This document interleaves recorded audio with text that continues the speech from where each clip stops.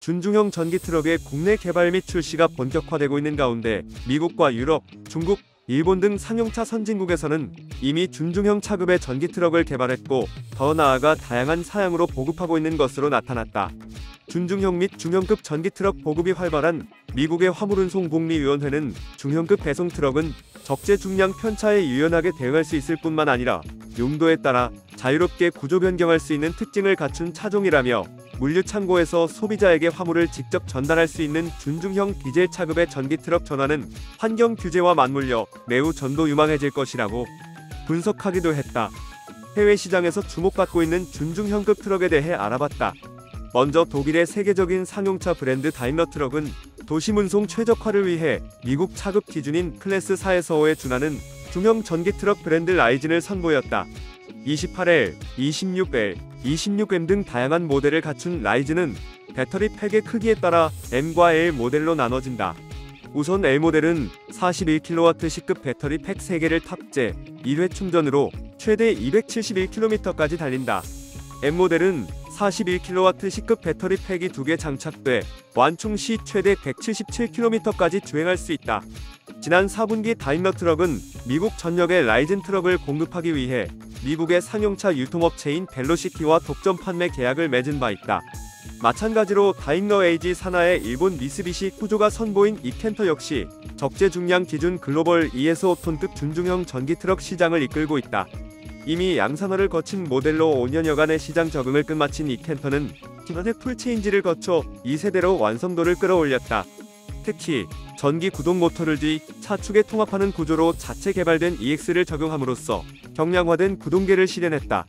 그 결과 차량 총 중량 기준 5톤급부터 8톤급까지 광범위한 셰시 라인업을 갖춰 일본 시장용 28개, 해외 시장용 약 80개의 라인업을 마련, 소비자의 선택권을 넓혔다.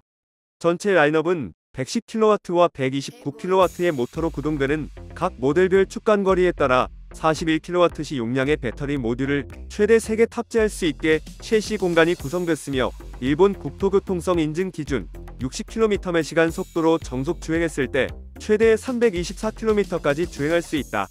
여기에 car carrier나 카고 크레인, 쓰레기 암롤 트럭과 같은 다양한 특장차를 지원하기 위한 동력 인출 장치인 ePTO가 채택돼 각 작업 환경에 맞는 특장 설비 적용을 지원하고 있다.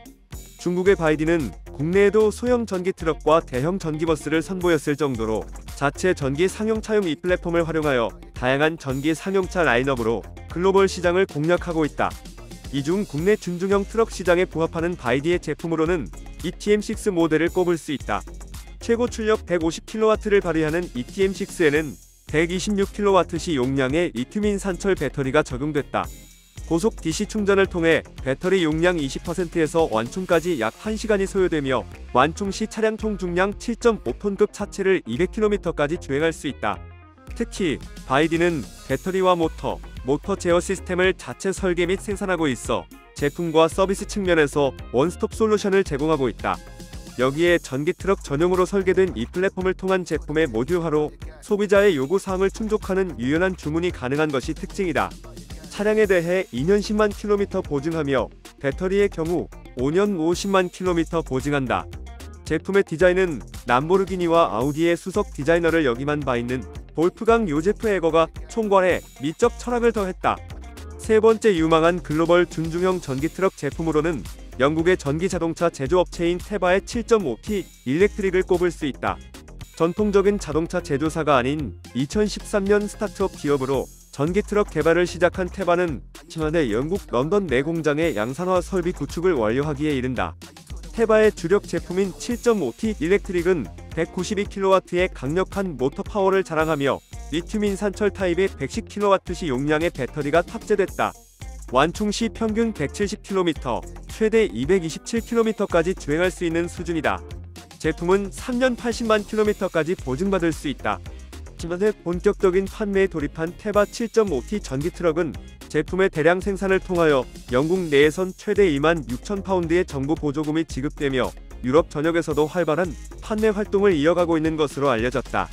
오늘은 글로벌 시장은 이미 준중형 전기 트럭 경쟁 모드에 대해 전해드렸는데요. 어떠셨나요?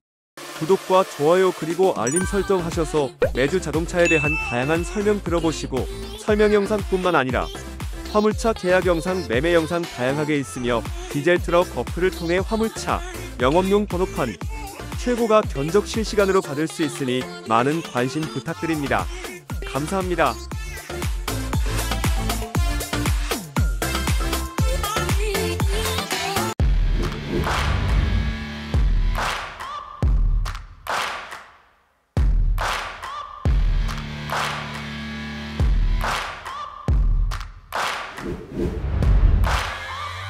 Searching for greatness in a sea of the dying and shameless. Uh, a sea of the aimless. I don't wanna be one of the nameless. I'm